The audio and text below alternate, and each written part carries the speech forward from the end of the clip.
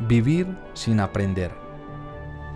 Vivimos movidos por los principios aprendidos que la sociedad considera fundamentales para vivir.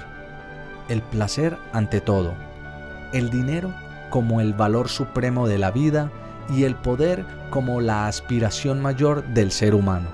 Sin embargo, estamos llamados a valores más altos. Si no aprendemos a amar y a dejar que otros nos amen, no encontraremos jamás la plenitud de la vida que andamos buscando.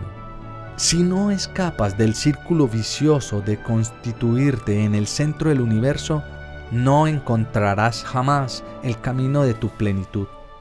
Ofrece lo que vives hoy por las intenciones del Papa y contribuye a que tu ambiente familiar, de amistad y de trabajo sea un ambiente más fraterno y solidario. Eres consciente que hacer el bien es muchas veces ir contra corriente